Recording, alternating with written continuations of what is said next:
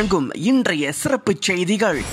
கில்லான் Tunku அம்புவான் Rahima பொது மருத்துவமனைக்கு மாயிகா சார்பில் மேலும் இரண்டு கொள்கலன்கள் மாயிகா தலைவர் தான்ஸ்ரிசா விக்னேஸ்வரன் வழங்கினார். கோவிட் நைன்டீன் பாதிப்புகளை எதிர்கொண்டு வரும் கில்லன் துங்கு அம்போன் ரஹிமா பொது மருத்துவமனைக்கு மாயிகா தேசிய தலைவர் தான்ஸ்ரிசா விக்னேஸ்வரன் மாயிகா சார்பில் மேலும் இரண்டு கொள்கலன்களை வழங்கியுள்ளார். Alhamdulillah. Jadi pada malam ni kita dapat turun lagi dua kontena freeze dekat sini.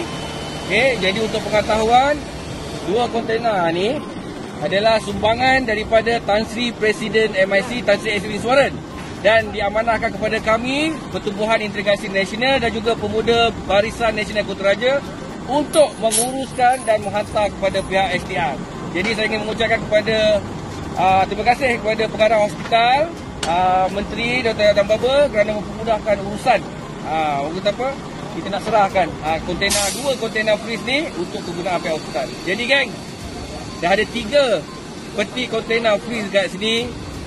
Jadi korang kena fikir-fikirkanlah ya. Ini bukan perkara main-main dan sesungguhnya COVID itu dia.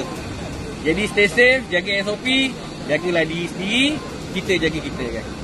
நாடு முழுவதும் கோவிட் பாதிப்புகளின் தாக்கங்களை பொதுமக்கள் அனுபவித்து வந்தாலும் மிக அதிகமான தொற்று பரவல்களை சிலாங்கூர் மாநிலம் எதிர்கொண்டு வருகிறது. இந்நிலையில் கில்லான் துங்கு அம்போன் ரஹிமா பொது மருத்துவமனை சவக்கிடங்கில் ஏற்பட்டுள்ள இடப்பற்றாக்குறையை சமாளிக்க தான்சிரி சா விக்னேஸ்வரன் ஏற்கனவே ஒரு கொள்கலனை வழங்கிய நிலையில் மேலும் இரண்டு கொள்கலன்களை வழங்கியுள்ளார்.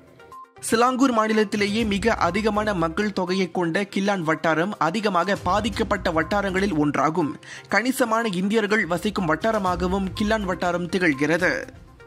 இந்த அம்சங்களை கருத்தில் கொண்டு இந்த வட்டாரத்தில் இயங்கும் துங்கு அம்போன் ரஹிமா பொது மருத்துவமனைக்கு இதுவரை மொத்தம் மூன்று கொள்கலன்கள் மாயிகா சார்பில் வழங்கப்பட்டுள்ளது.